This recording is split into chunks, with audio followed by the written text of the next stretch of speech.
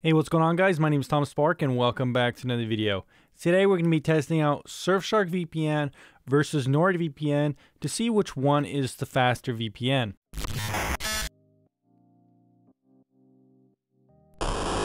So basically in these tests, we're going to be testing out a Ubuntu download file. It's more accurate than doing a speed test on those speed test websites that have a lot of variability and a lot of them have bad privacy policies as well. So this is a more accurate test of what you're going to be doing with a VPN. A lot of cases, you're going to be downloading stuff. So today we're going to be time how long it takes Surfshark to download the Ubuntu file, which is around 2.7 gigabytes. And then we're going to do NordVPN in comparison.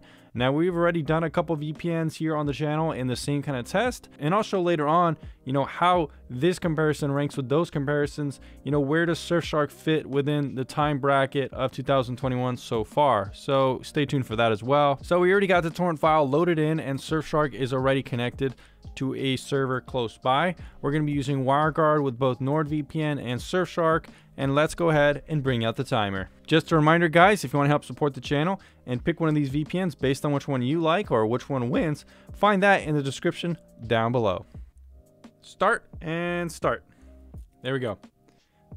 That is bad, as accurate as we're going to be able to get it. So we're testing it out here. Um, so far, TorGuard has been the fastest around 50, I think it was 52 seconds. NordVPN was around 58 seconds, and ExpressVPN was around 66 seconds. So all these VPNs are pretty fast. You know, I'm testing out the fast VPNs. I'm testing out, you know, eventually I want to do like most every VPN in this test. Um, so we're going to see, you know, where they rate. So, so far, Surfshark's doing fine. Um, seems to be kind of doing similar to ExpressVPN. Um, kind of in that range from the 20s to the low 50s. Um, so far, it doesn't look like it's going to be able to beat Torguard. Um, right now, it is, now it's past, uh, Torguard has completed already, and Surfshark's only at 66%. So we're still getting decent speeds here. I would say top of the line for the most part. You know, WireGuard's always going to be fast. Any VPN that supports WireGuard nowadays has plenty of servers. Should be pretty fast. So we're actually quite a bit behind schedule here for Surfshark compared to some of the ones we've tested already. Um, so it's just about finished here. I'm going to pause it and look at the time.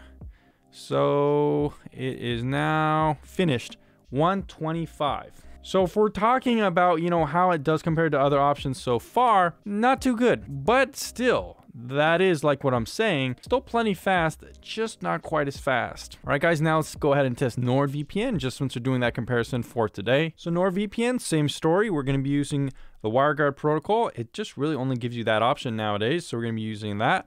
And a closest nearby server doesn't let us pick as much or show as much information about what server is being used. So we're going to go ahead and load it in here. And then uh, let's load it in. And then when I click OK, it's going to start. And we're going to click Start. That should be good enough. Um, so time to beat would be around 125. Um, right away, we're actually seeing pretty good speeds from NordVPN, pretty close to this morning when I was testing. So pretty consistent there, no matter time of day. Um, so we're getting pretty good speeds here. It looks like we're going to be passing up Surfshark quite handedly. Now I did say that there is a threshold of speed that WireGuard does provide for VPNs and it's definitely kind of normalized the differences somewhat compared to how it used to be. But even here, you know, there is speed and then there is speed. And, you know, some VPNs are just going to be that much faster even now, you know, even with WireGuard. So we're getting close here to the end point with NordVPN. Holding it quick. It's going to be done right about now. 53. Um, right around 53. Um, so yeah, in this comparison, NordVPN is the clear winner against Surfshark VPN. There you go. Anyways, guys, if you like this video and you want to see more like this, let me know down in the comments down below. If you want to see any more tests, any other battles, let me know as well. And I'll see you in the next video very soon.